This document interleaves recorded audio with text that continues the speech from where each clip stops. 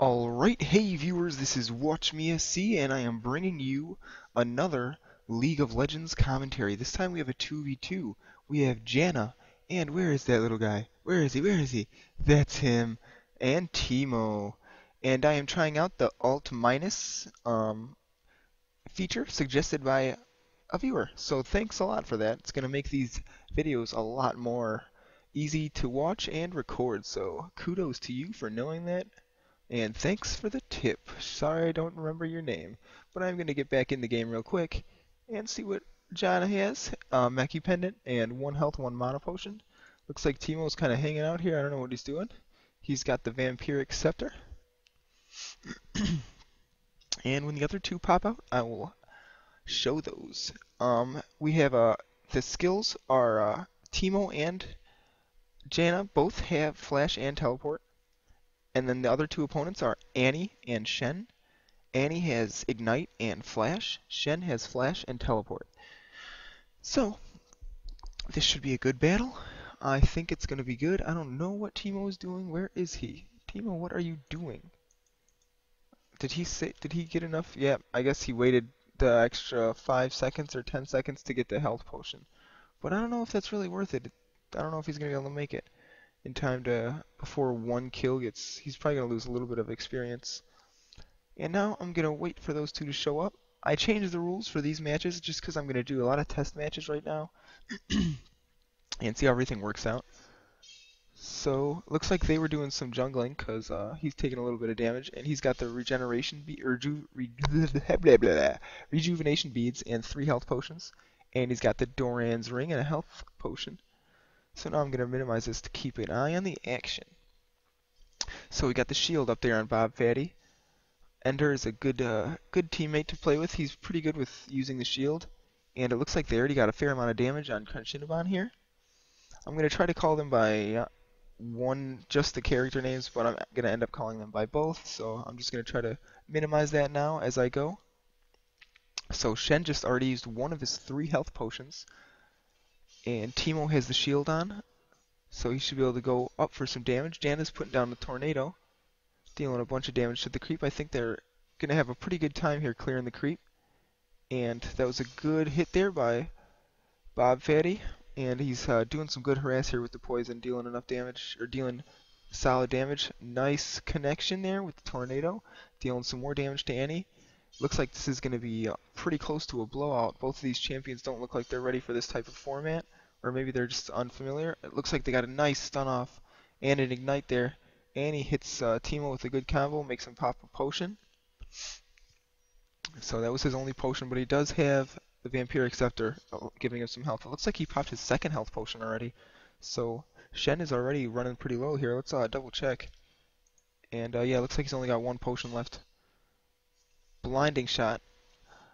Obviously, the most uh, obvious decision for Teemo there in the second slot, especially after Poison is already introduced. And it looks like Bob Fatty might go down here. He got an Ignite? No, looks like uh, Shen. Oh yeah, I forgot Shen doesn't have an Ignite, so he couldn't do that extra damage that was needed there. Bob Fatty's got the shield up. Enderman staying in the back. His mana's getting a little bit low here, but he connected with Annie. Tower's not taking much damage here, but the champions are definitely being pushed back. Teemo taking a pot shot at Shen there.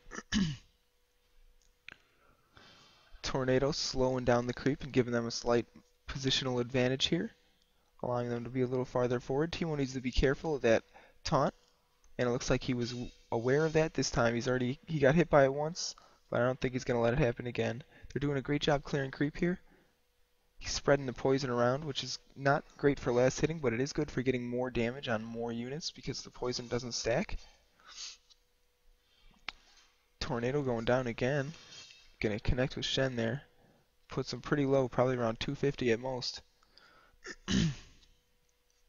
and he's got full mon. She hasn't really been doing much here at all.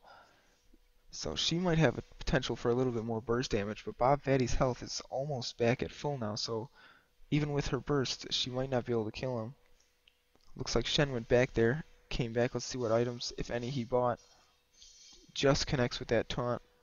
And I'm going to go ahead and move, see what he's got. Looks like he upgraded to the Emblem of Valor, which is going to give a decent amount of health regen aura to Annie as well. That's going to definitely help them out. Looks like Enderman's deciding to go back now. Bob Vatty's going to be able to gain a little bit more experience, but Enderman has teleport, so he's going to be able to go back, or come back to the battle really quick. And now we'll see if he decides to come back using one of the minions, or if he decides to come back using the tower. Looks like he decided to choose the minion, and smartly decided to choose the minion that was being targeted there by Annie. I don't know if that was a conscious decision or just luck, but it ended up in their favor. Connected with Annie, I would assume. Yep, I think that connected with Annie. And now that Shen's over here in the bushes, uh, Annie's not receiving the benefit from his health regen, and now they're separated.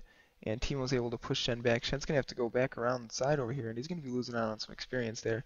And that's pretty valuable in a game like this. Looks like he's going for the stun there on Enderman, but Bob Vatty is dealing a lot of DPS to Shen, and that was not a good trade for uh, the purple team there. And he popped her health potion. Let's see where. Let's see, look at the overall state of the game right now. Oh, that was the wrong button. That was a print screen button. Let's do a little movement there.